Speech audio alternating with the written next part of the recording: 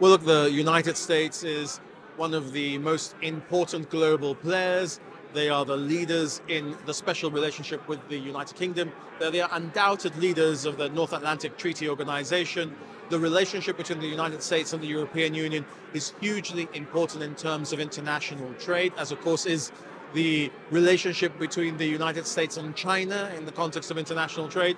So the election of Donald Trump, who is seen as a disruptor, his return to the White House, is historic in political terms. I think the only president to have gone back after losing um, in 100 or 200 years. Um, and we will see whether Donald Trump's instinct as a disruptor has the effect that the Economist and the Financial Times and other publications are predicting from the point of view of Gibraltar that goes around, and in particular to the United States, seeking to have our right to self determination respected. What we must do is respect the choice of the American people as we would respect the choice of people in any other democracy. The United States goes around the world preaching democracy and defending democracy, so the least we can do is respect their choice.